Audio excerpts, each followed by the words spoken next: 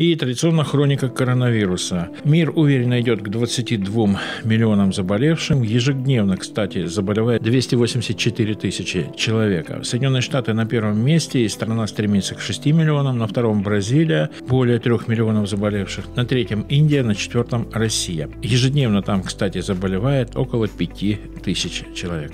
По количеству заболевших в Украине на 14 августа мы установили новый рекорд – 1732 человека. Что касается областей, то они в такой же последовательности остались.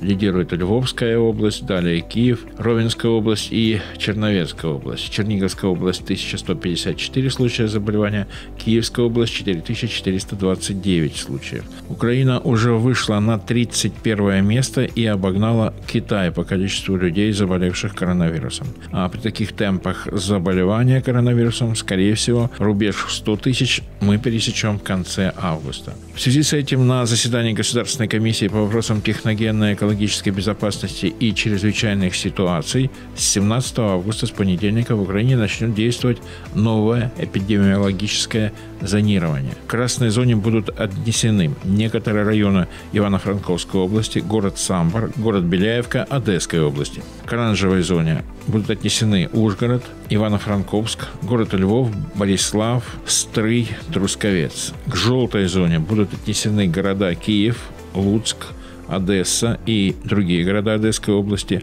Ровно, Вараш, Тернополь, город Харьков. И еще три иронические новости о коронавирусе. Целое государство, княжество пало от коронавируса.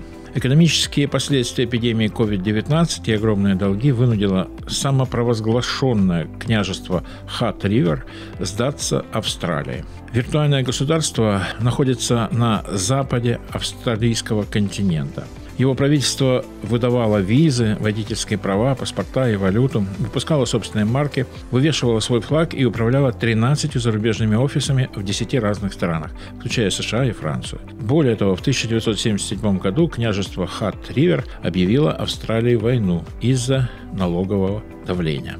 И вот оказывается, что за последнее время у государства Хат-Ривер возник долг в размере 2,15 миллиона, и теперь князь Грэм Кесли объявил о продаже земли для выплаты долга. Как он признался журналистам, сейчас во всем мире очень тяжелые времена и для экономики, и здоровья, и мы тоже это чувствуем. Итак, минус одна страна.